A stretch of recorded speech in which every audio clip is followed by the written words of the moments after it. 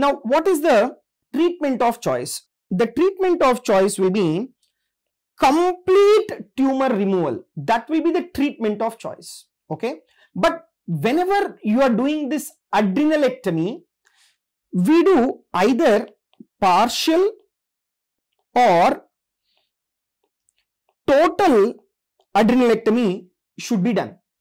Now, the point is, if there is bilateral adrenal pheochromocytoma, bilateral adrenal pheochromocytoma, remember, you need to preserve the adrenal cortex. Hmm, you need to preserve the adrenal cortex. Why? Mainly to prevent, right? Mainly to prevent the Addison's. You need to preserve the adrenal cortex. That is very, very important. And the next important is these patients, they have the hypertensive crisis, right? So preoperative preparation of the patient has to be considered. And how much should be the blood pressure before taking to surgery? It should be less than 169 by 90 millimeters of mercury. Then until then, how will you achieve to reduce the blood pressure. So, the drug of choice will be phenoxybenzamine, which is an alpha blocker, right? So, the blood pressure has to be controlled by alpha adrenergic blocker, that is phenoxybenzamine, which is an oral formulation, right? So, if you take the dosage of the phenoxybenzamine, that is around 0.52 4 milligram per kg body weight. Hmm, 0.5 to 4 milligram per kg body weight. That is what is the dosage of the phenoxybenzamine to control the blood pressure within the individual, right? And the next important is these patients, they are volume constricted because the, there is excessive catecholamines. They are causing severe vasoconstriction of the blood vessel. So they are like volume constricted.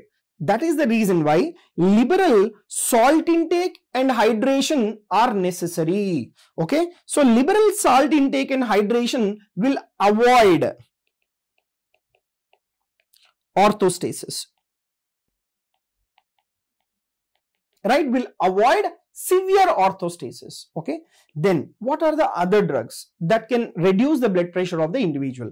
So, that is oral prazosin and as well as the intravenous phentolamine, they are mainly given to reduce the paroxysms. Right? They are mainly given to reduce the paroxysms or they are mainly given to manage the paroxysms. Okay. So that is about the trick because whenever you are giving this phenoxybenzamine, it may take time for adequate alpha blockade. So until the adequate alpha blockade has achieved, you can give this intravenous formulations of the phentolamine mainly to control the paroxysms. Then what are the other alternative drugs to control the blood pressure? You can give beta blockers that is 10 milligrams of propranolol. But whenever you are giving these beta blockers, always remember it is first alpha blockers followed by that we give beta block. And whenever you are giving propranolol, the dosage is 10 milligrams propranolol 3 to 4 times per day. Right? 3 to 4 times per day. So that is about the beta blockers. Then what are the other antihypertensives? The other antihypertensives that can be given is the calcium channel blockers or angiotensin converting enzyme inhibitors or angiotensin receptor blockers. So once you achieve the blood pressure of less than 169 by 90 with all these antihypertensives, then you need to plan for the surgery. So surgery whenever you are doing, it should be a team approach. Okay. So you require a surgeon, you require an anesthesiologist and you require an experienced person in managing this pheochromocytoma.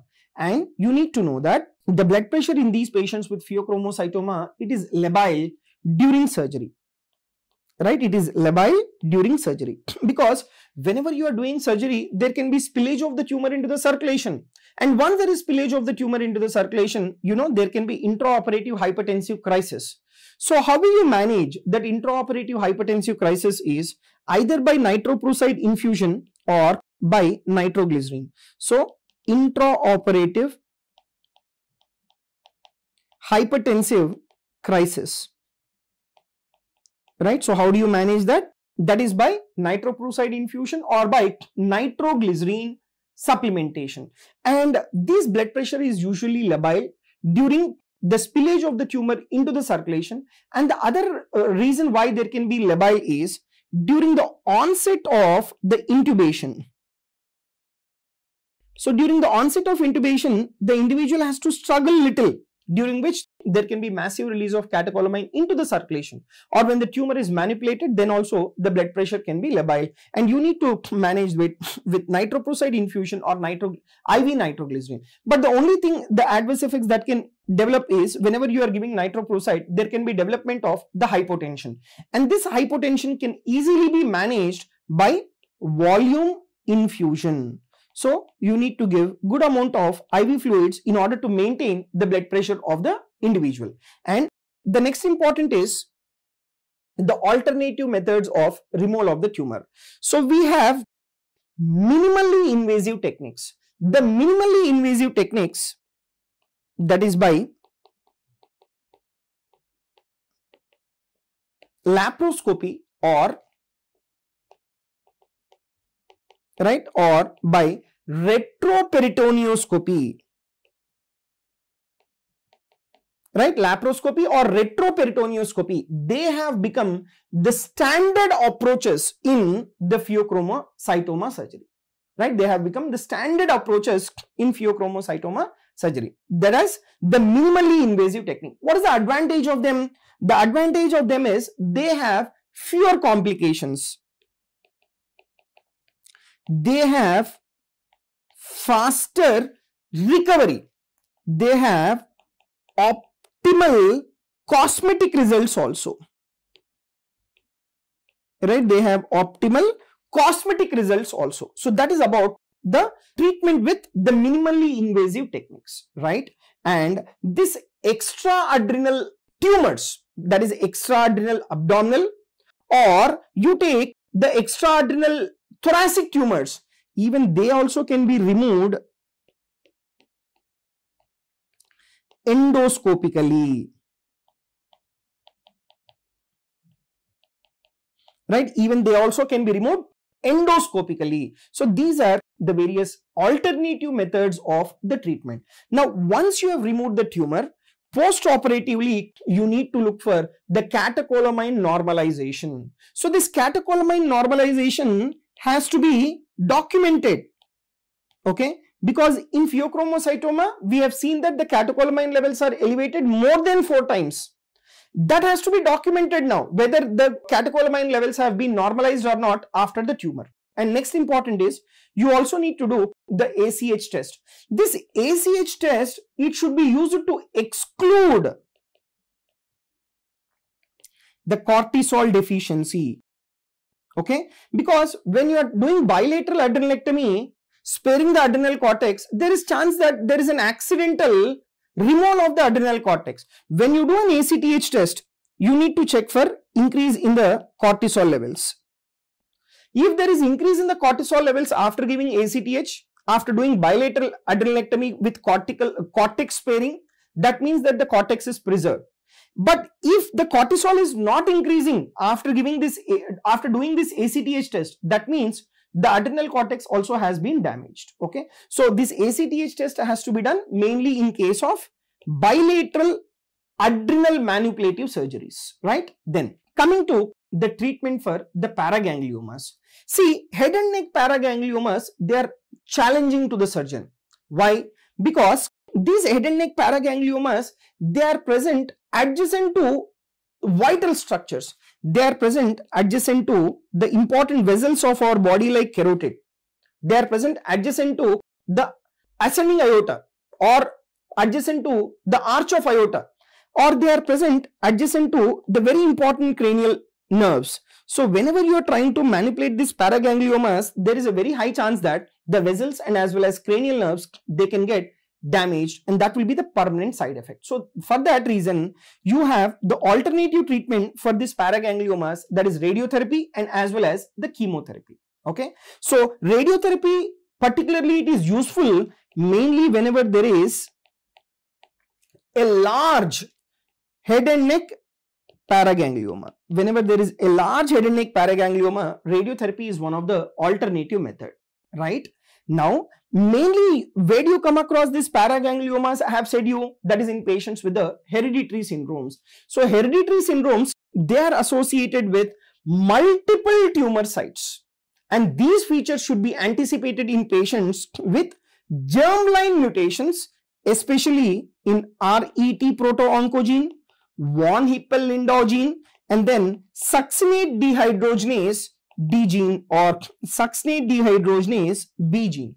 So, remember in hereditary syndromes, they are associated with multifocal tumor sites. That means you have multiple paragangliomas, mainly in these tumor, in these gene mutations. Okay, right. Now, what are the various treatment approaches for the metastatic tumors? Number one, tumor mass reduction, alpha blockers, chemotherapy, nuclear medicine radiotherapy, stereotactic radiation. So these are all the various options for the treatment of the metastatic tumors or paragangliomas. Okay, right.